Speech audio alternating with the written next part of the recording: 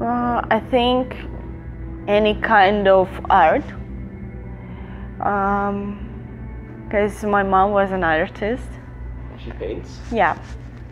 And uh, half of my family is painters.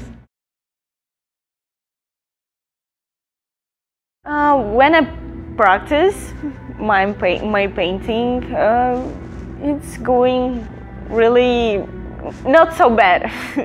but now I'm not doing something like this, so I don't know. I think it will be terrible.